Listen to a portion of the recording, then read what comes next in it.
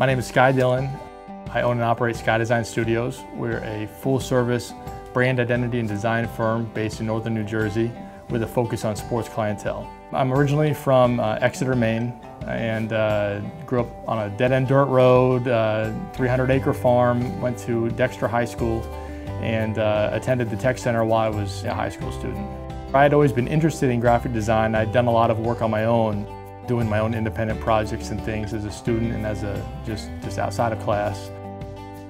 But I really didn't have an understanding of how those skills would eventually have to translate into the real world, into the real design industry, which uses software, which uses these other tools of the trade, if you will. So uh, when I was a junior in high school, um, my guidance counselor referred me to the Tech Center as a way that I, rather than go into the typical standard art class that the high school offered, it was a way to learn these industrial skills, learn the software, that I would then be able to take uh, you know, my passion for sports design and have it translate into a medium that made sense for a career path. It opened my eyes to a whole new world, really, because I'd been, again, so set in my ways, doing everything by hand, which was great from a foundational standpoint. You always want to start that way uh, with every project.